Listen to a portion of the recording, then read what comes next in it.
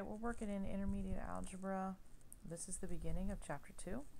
So we're going to start on page 63, if you're following along in your book, which is always a good idea, of course. Uh, section 2.1 is an introduction to systems of linear equations. Uh, we've talked about linear equations in chapter 1, but now we're going to talk about systems.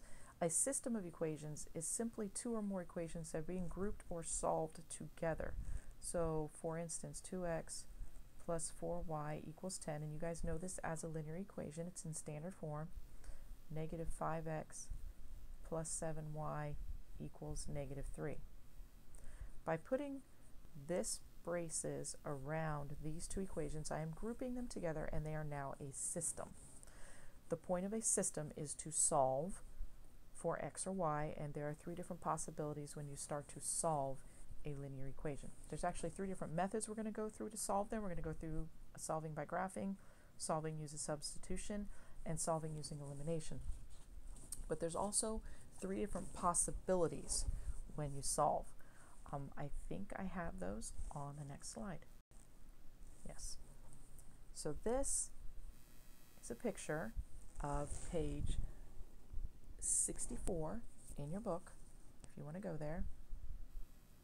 Page 64. There it is, the page number right there. If you want to go there, this is a picture, and I know that it's not one really clear, so that's why it's a good idea to uh, look in your book. Um, these are the three different possibilities when you're solving a system of equations together. You can either get one solution, infinitely many solutions, or no solution. All right, those are the only three possibilities. To get one solution when you're solving by graphing means that those two lines cross or intersect at one point. So one solution means the lines intersect at one point.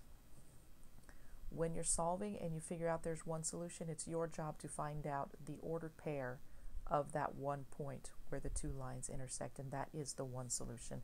And we'll talk about there's three ways to find out what that point is and how we're going to find it. But this is the first possibility. The two lines intersect, it gives one solution, and we'll give the ordered pair that is the solution. Um, there's also the possibility that there's infinitely many solutions. Or in other words, and this looks a little weird because I thought we were talking about two equations, but sometimes those two equations, you can see these two equations right up here. Let's zoom in a little bit. Um, it looks like negative x plus y equals x plus 3 and negative 2x plus y equals 3. Those are the two equations. It just so happens that when you graph them, they graph in the same exact spot. So, in other words, one of those lines lies exactly on top of the other.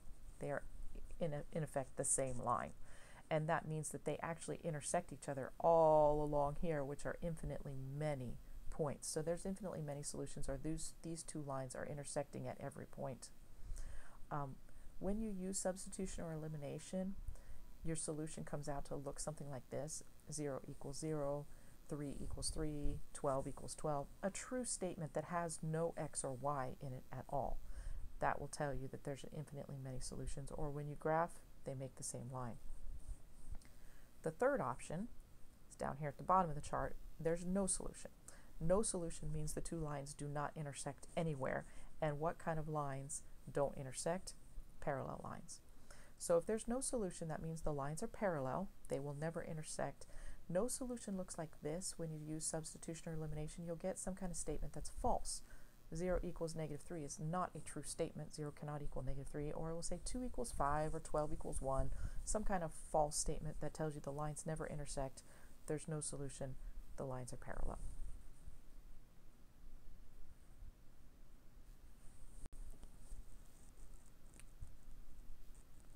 We're going to go to example three, I'm sorry, example one on page 65, where we're going to verify solutions. The question asks us, is the point 0, 2 a solution for this system? And I'm going to write the system out. The system is 2x plus 5y equals 10 and negative 5x plus 7y equals negative 3.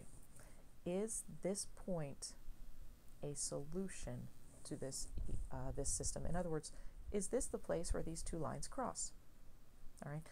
Um, to find that out without a graph algebraically, you have to first verify, is this point a solution to this equation? And is this point a solution to this equation?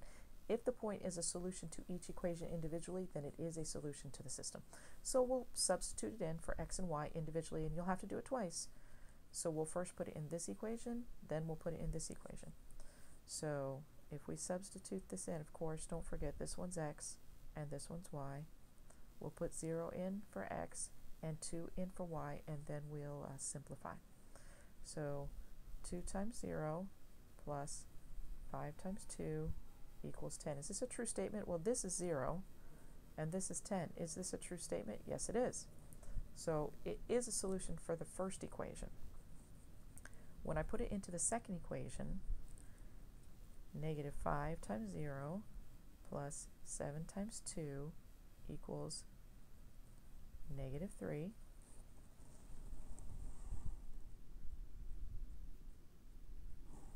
I get 0 plus 14 equals negative 3. Okay, this is not a true statement.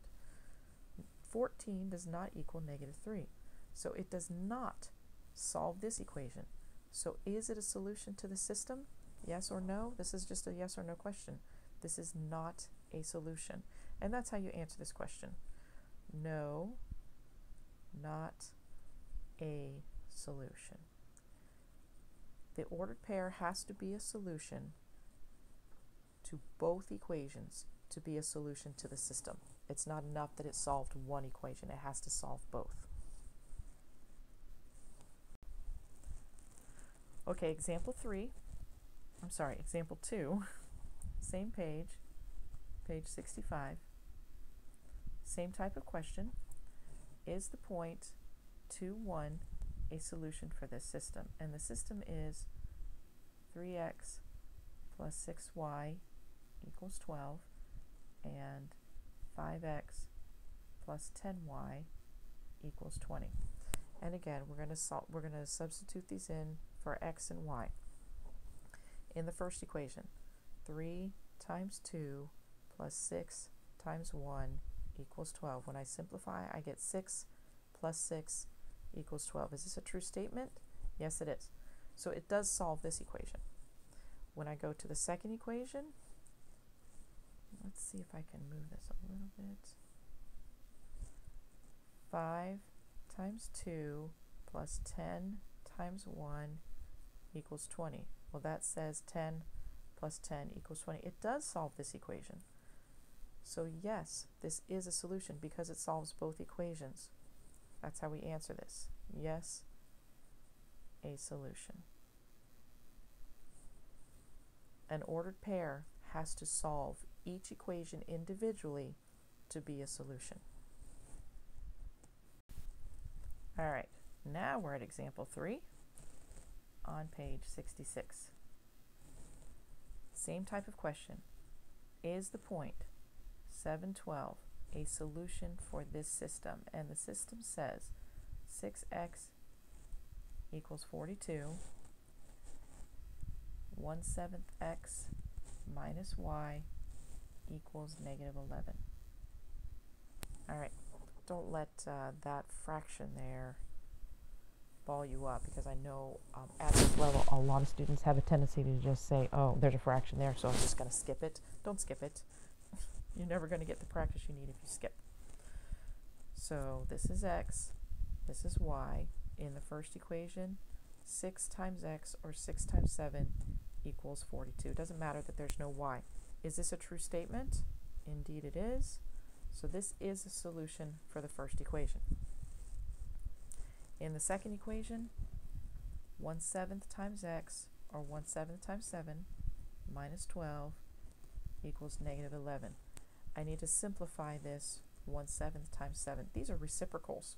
This would be 7 over 1 if you put it in a fraction, and that would give you 7 over 7, which is 1. Anytime you multiply number times its reciprocal, you always get 1. So 1 minus 12 does make negative 11. So this is a true statement also.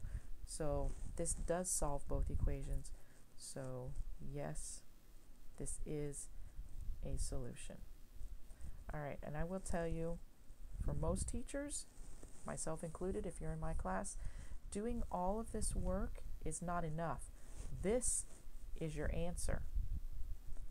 Yes, you can do all this. Yes, you can do all this. You can put your check marks here, but if you don't make this conclusion, then you will not get credit for this question because you have not shown that you know what all of this means. This is your statement. This is your answer. So make sure that you say at the end of this question, yes, it is a solution, or no, it is not a solution. All right, that's it for this section. I'll see you in the next one.